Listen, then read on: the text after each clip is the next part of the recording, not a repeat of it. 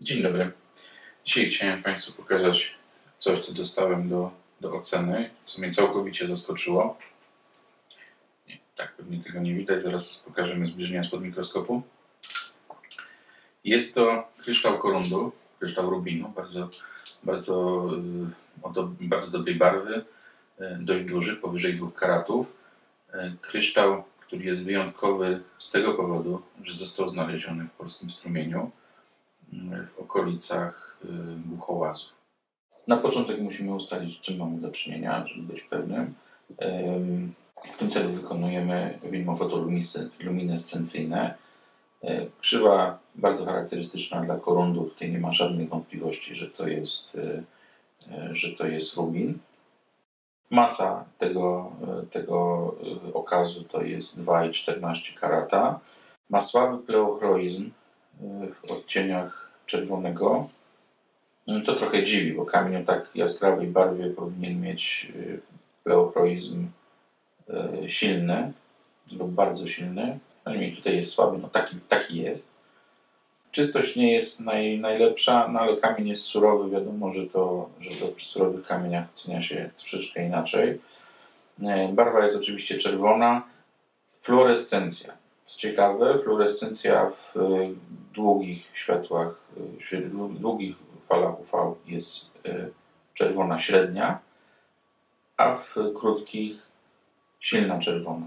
Czerwona fluorescencja w długim świetle UV oznacza, że kamień pochodzi z, z z depozytów marmurowych, tak jak kamienie pochodzące na przykład z Pilepu. Kamień został znaleziony przez y, jednego z, z, z użytkowników YouTube'a, który występuje pod nickiem Marcin Polskie Złoto, y, na terenie, y, właściwie w aluwiach rzeki Izery, czy w dorzeczu rzeki Izery w okolicach miejscowości Głuchołazy.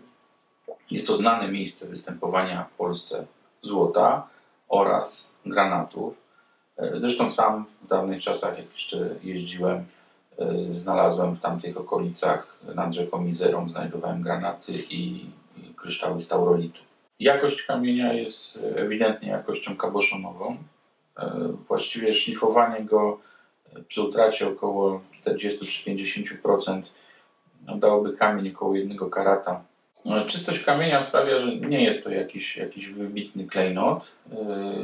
Zresztą jego forma, on jest, on jest dość, ma dość niewielką wysokość, bo to jest duża płytka o rozmiarach powyżej 8 mm, ale o grubości niecałe 3 mm. Dlatego można by z tego oszlifować taki płaski kaboszon, ewentualnie kamień w szlifie taflowym, e, bardzo, bardzo płaski, e, o, o słabej proporcji E, dlatego nie jest, nie jest on tak bardzo ciekawy jubilersko, natomiast e, jest to kamień bardzo ciekawy, jeżeli chodzi o miejsce wystąpienia e, i jest doskonałym materiałem badawczym dla gemologów, dla naszych krajowych gemologów, żeby poznać, jakie w nim są inkluzje, z jakich on złóż dokładnie pochodził, skąd się wziął do rzeczu rzeki Izery. Na wszelki wypadek sprawdziłem, czy kamień nie jest poprawiany E, dlaczego? Dlatego, że zdarzały się takie przypadki w Tajlandii, że e, takiego właściwie oszustwa, że miejscowi organizowali dla turystów płukanie rubinów w rzece i wcześniej do tej rzeki wrzucali rubiny wypełniane szkłem. Ludzie sobie je tam znajdowali, wypłukiwali, potem byli zachwyceni, że mają, że mają fajne rubiny e, i traktowali jako materiał jubilerski okazywało się, że jubilerzy czy gemolodzy, którzy dostali te kamienie, stwierdzali, że, że one są e, niskiej jakości, a do, tego, a do tego jest to materiał kompozytowy, a nie naturalny kamień. Dlatego sprawdzałem, kamień jest w 100% naturalny, pochodzi z polskiego źródła, z polskiego depozytu, co jest, co jest wyjątkowe.